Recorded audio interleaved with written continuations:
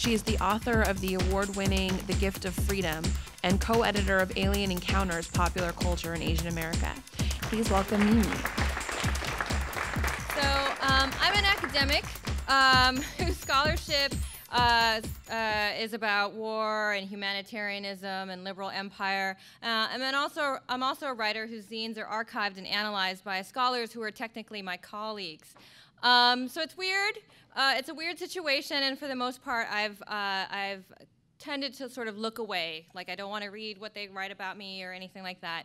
Um, but in the last few years, I've been asked to reflect on my zines, on other people's zines, on zine archives, on Riot Grrrl histories, on punk studies, and so on and so forth. So I figured I needed to uh, uh, theorize my own reluctance to turn to my zine, to turn my zines into my scholarship, uh, and my reluctance to otherwise engage this field of punk studies. Um, so the first step I took um, uh, became the chapbook Punk, uh, which was published last year by Sarah McCarry on Guillotine Press, uh, which is a conversation between myself and former Maximum Rock and Roll coordinator and Columbia graduate student Golnar Nikpour about our punk doors, uh, what zinester Nikki Gomez calls that sort of decisive moment or encounter during which a person can either turn away or, or walk through that door, right?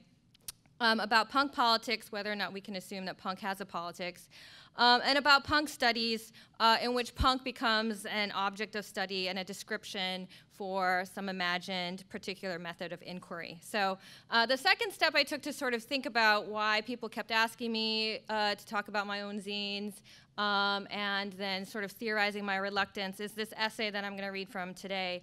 Um, which I wrote for an academic journal uh, called Radical History Review for a special issue called Queer Archives. Um, so um, I'm just going to read a little bit of the introduction um, and then a little bit of the conclusion.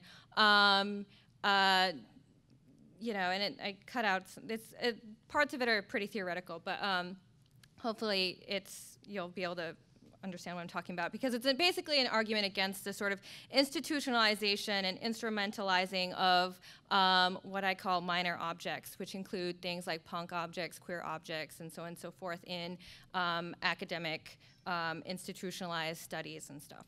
So, so this is uh, the beginning.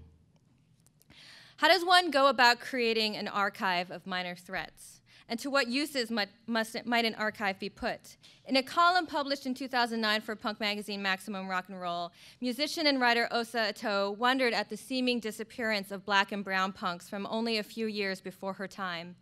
She writes of revisiting her collection to read again 10, 15 year old zines, including Race Riot, How to Stage a Coup, Slander, Quantify, and Mala, and how these helped her and other black and brown punks who came later establish a genealogy and a touchstone. And this is a quote from her, that column. Um, what all of these early POC punk zines did for me was put me in touch with other brown punk kids. I remember reading, meeting this queer Asian girl, Celeste, at a barbecue birthday party because I saw a copy of Race Riot sticking out of her bag. Later, we started a queer people of color group together, making up about six brown queer kids. End quote. Osa also wonders what happens to us, to the black and brown punk women who created communion where there had been none. This is another quote. What was the point of putting out zines like Race Riot and How to Stage a Coup if not to try to spawn some kind of change in the punk scene? Well, here we are, the change I hope they wish to see in the world. People of color punks, empowered by the words and deeds of those who came before us, building community with each other, and ready to fuck shit up. So, what emerges for me uh, from Osa's uh, uh, sort of brown study is how these objects uh, describe a cluster of uh, unpredictable encounters with others across time. When I brought together the imperfect partial histories that made up Race Riot, uh, so the initial call for contributions um, circulated in 1994 1995, I could not then have anticipated how a copy of a copy of a copy belonging to a sister of an older brother's best friend might find its way into the hands of a young punk 10 or 20 years later, as it does, and create connection through the chance encounter. For Osa and Celeste, others I have met since, and more I do not know yet. To answer Osa's question in part, some of us are still punk, others put punk behind them, while our objects continue to corroborate our presence as provocation even now. So it might be that an archive of minor threats um, is an incitement to loosen or grasp more tightly a promise between past and future. But I have concerns too about what happens to us and our threats. Those minor objects that once circulated between us are now amassing in library collections and institutional archives, shared and sometimes scanned, reformatted, and uploaded on public and semi public platforms, while academic studies and popular press anthologies republish images and passages alongside close readings and remembrances. And so the conditions for encountering our objects are radically changed years later. Once my own zines began to figure into histor uh, historical and uh, archival discourses about punk cultures, especially as radically minor objects that stood in for a critical reckoning with the politics of race and gender, I wondered what else has changed in the increasingly institu institutional encounter and in this uh, story about a history of minor, and in the construction of the story of a history of minor threats. So, this essay is a queer love song to radically minor objects that render the past and the present as a wish or a wanting for something more, and also a caution about the production of knowledge about those objects into what Roderick Ferguson calls the reorder of things. While I focus on punk studies in the field of cultural politics, I follow cues from transnational and po postcolonial feminist studies and queer of color critique to take up uh, questions about minor objects as entry points for disruption and discipline, especially where power's sphere of control and knowledge's realm of interference together aim to try to capture that minor object. Here, the concept of minor object describes those marginal forms, persons, and worlds that are mobilized to designate moments of crisis. By way of a minor object, exclusion and normativity might be laid bare, and the contingent quality of knowledge or other claims uh, fold under scrutiny. Punk is one such minor object saved my life, as the saying goes, because it gave me words and gestures for once inchoate feelings about the cluster of promises that comprise what Lauren Berlant calls a cruel optimism. The state and capital are on your side. The ring on your finger is a sign of love and protection, for instance. The good life, fuck that. But while a minor object might describe the limits of a structure or practice and be met with clear violence, a minor object might also be recruited to manage or overcome those limits and their laying bare, especially through acts such as recognition, inclusion, reestablishing normative principles without necessarily being itself engaged directly. So an example would be like the way that people talk about um, same-sex marriage, right? Um, uh, and the idea that recognition and inclusion um, um the danger of recognition and inclusion.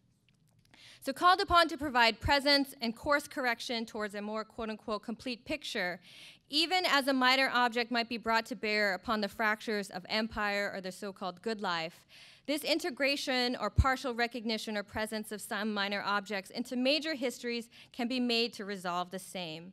So what happens to the brats and the new bloods, the poison girls, the androids of Mu, persons unknown, or younger lovers when we are called upon to fill a void, correct a partial claim, or set straight a story? How do the politics surrounding institutional discourses of a minor threat, especially at the crash with race or gender, displace or diffuse that threat through its integration into a politics, a history, or an archive? How might the, the specific difference of the minor object be enlisted to enhance a norm or princip- a normative principle and already known story?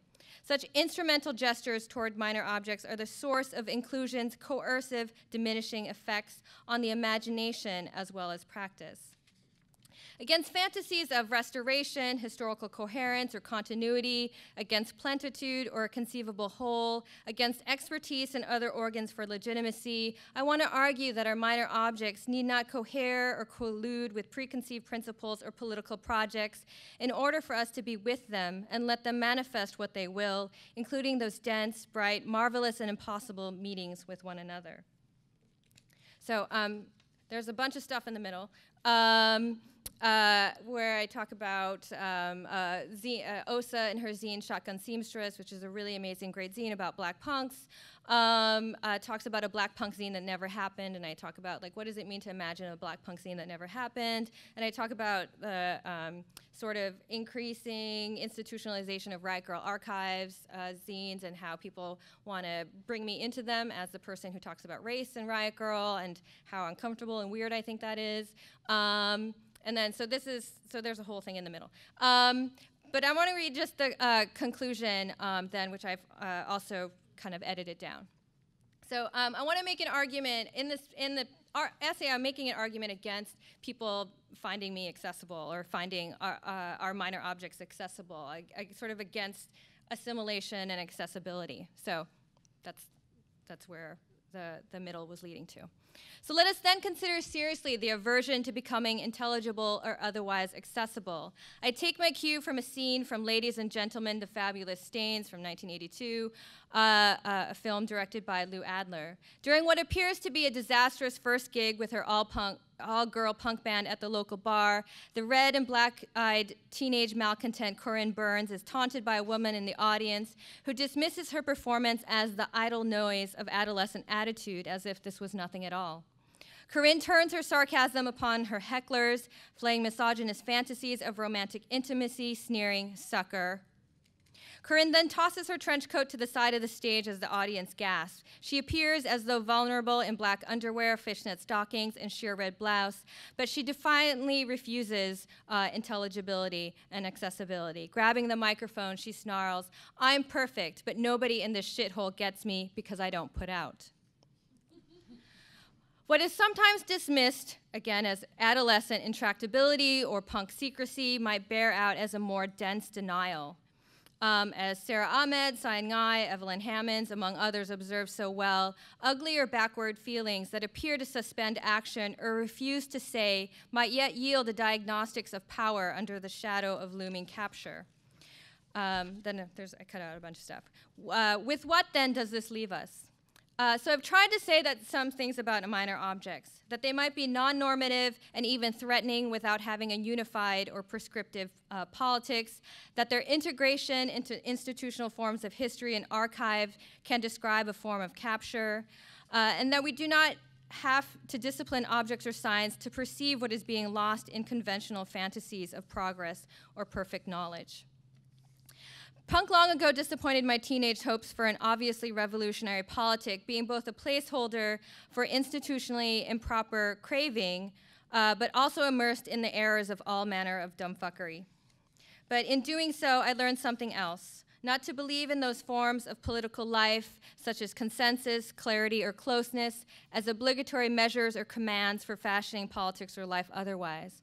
What might be perceived as in adolescent intractability or punk purity might actually bleed into a critique about usable instrumentalist knowledge about minor objects, unsettling the question of how to be political without a necessary orientation towards expertise, efficiency, or predictable ends.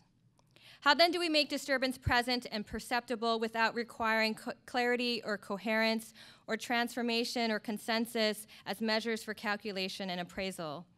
Under what circumstances might our queer attachment, our absences, our deliberate obscurities, um, or the Thurney passage into an archive be marshaled uh, uh, within an order of a continuous history, that's a reference to something I talked about in the middle, uh, through a complicity between critical articulation and political utility. And that was about how people want to say that punk is necessarily resistant, which anyone who's been in punk knows that's not. Um, what circumstances could sabotage them? Can we yet be destroyers of the status quo? What would it mean for a politics of knowledge and as yet possi obscure possibility to say to each other, from one minor threat to another, you are perfect, don't let anyone in this shithole get you, you don't have to put out? That's it.